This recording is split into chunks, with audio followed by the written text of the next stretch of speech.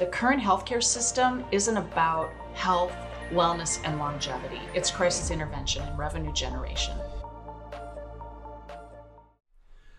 I'm a general diagnostic radiologist. That's what I've done for the majority of my career. But I've also worked in tertiary care neuroradiology. I've worked as a family doctor and emergency room physician. I've worked at dozens of facilities, both in the United States and Canada. And I have privileges at a lot of facilities uh, because part of my job is uh, teleradiology. And I'll frequently go into patients' chart to get more information to interpret their scans. And I'm usually stunned by the number of medical problems that people have, the majority of them being lifestyle related. And I'm also just stunned by the number of medications they take. I don't know how they keep them all straight. But the thing is with these lifestyle diseases, they all have one common cause, which is mostly nutrition and other lifestyle factors. Why is it that patients will see uh, physicians for diseases that are lifestyle related and not be told that the disease is rooted in their lifestyle and then simply be given medications? Well, I'm unfortunately it's the easiest path to follow for physicians and they have time constraints under the current system of billing there's no financial incentive to really address causes and counsel people as they should be. Dr. Fuhrman says the medical system enables people's bad behavior. Doctors function as enablers.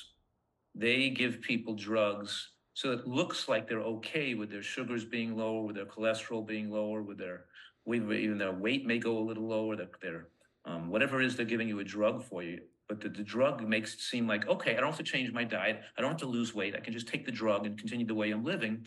And inevitably that makes the disease continue to progress. Your your otherwise chronic illness is worsening. And i think he's entirely right.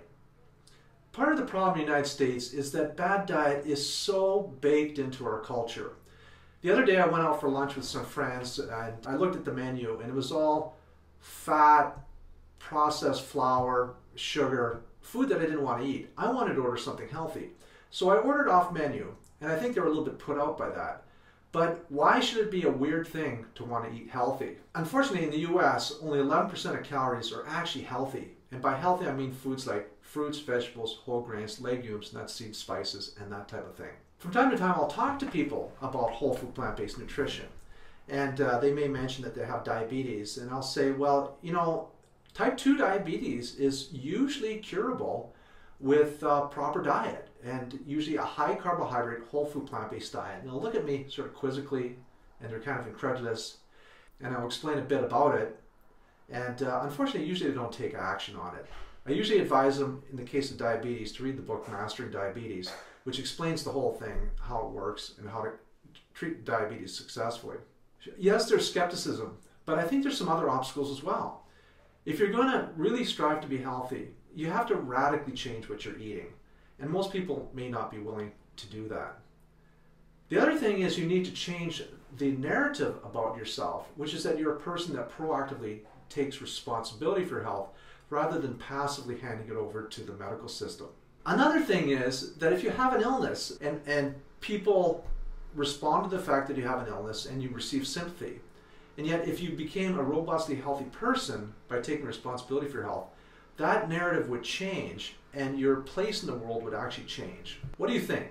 Do you think a person's narrative has something to do with whether or not they embrace healthy living? Post a comment and like and subscribe.